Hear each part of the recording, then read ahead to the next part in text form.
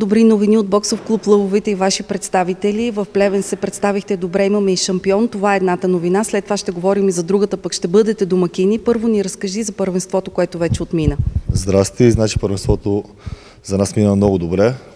Участвахме с три момчета, трима финалисти, един шампион на България и двама вице-шампиони.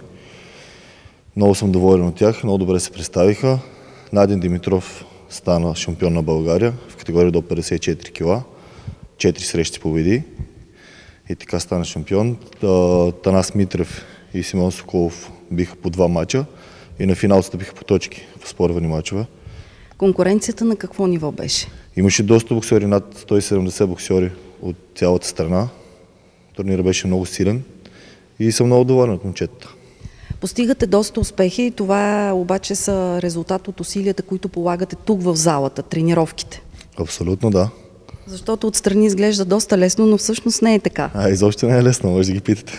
Разбира се, че ще ги питам. Има и друга новина покрай вас. Вие ще бъдете домакини на първенство, което ще се проведе, ще стартира сега на 6 юни. Кажи ни за това.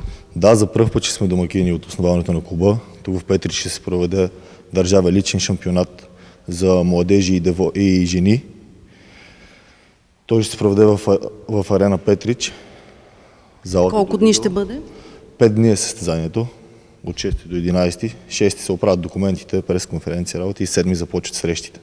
Ще имате ли представител от боксов клуб Лъвовете? Да, да, да, на младежите. На жените, не на младежите ще участват две момчета. Това е голямо постижение да сте домакини. Да. Здрасти, честита победа. Ти си на второ място. Ти също имате две втори места и един шампион, с който ще говорим след малко. Кажи ми, трудно ли беше да спечелиш това второ място? Еми да, винаги се изисква много труд и усилия. Сега ние говорихме с треньора, че отстрани изглежда доста лесно, но за да се стигне до тези медали има много тренировки тук в залата. Да. От какво се лишаваш, за да бъдеш добър на ринга? И, и от излизане с приятели, стоене до късно пред телевизора, това го няма, нали? Дисциплината не го разрешава. Да, но отделяме повече време за тренировки. По колко пъти на седмица тренираш? Седем пъти. Това е страшно много. Ти на колко си години? 12. Обещаваш ли да направиш една добра кариера в бокса? Да, обещавам. Но зависи от тебе, нали? Да. Ти също си на, на второ място. Кажи ми конкуренцията на какво ниво беше? Конкуренцията беше на много високо ниво. Всички бяха много, много добри боксери. Но ти не се стресна от това, продължи не, напред. Не. Дисциплината е на първо място, нали? Да, да. На теб какво ти струва този медал? Много тренировки? Много лишения, тренировки. Ще продължиш ли да се развиваш в тази сфера? Да. И шампиона сега да попитам, първо ми кажи как всъщност ти се насочи към бокса.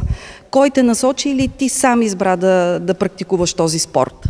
Ми, аз сам си избрах да практикувам този спорт. Безапелационно си победил конкурентите. Те на какво ниво бяха? Ясно е, че ти си най-добрия след като си станал шампион. Еми, добре беше там състезанието. Имаше добри боксери. Но ти ги победи всичките. Победи ги, да. По колко пъти на седмица тренираш, за да стигнеш до това първо място? Еми, седем пъти. Лишаваш се от време с приятели, за да си тук в залата да. и да постигаш успехи. Ще продължаваш ли да се развиваш в бокса? Да, да, да. Каква е следващата ти цел? Отново медал, първо, първо място. Да.